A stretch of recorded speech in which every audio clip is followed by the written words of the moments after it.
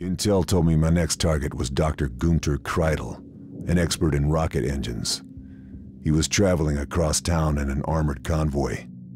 We believed he was carrying documents that would lead me to the V2 production facility, where the other three scientists were waiting. I'd identified a point on the route where I could lay a booby trap and stop the convoy. Naturally, the area was defended. I'd expect nothing less.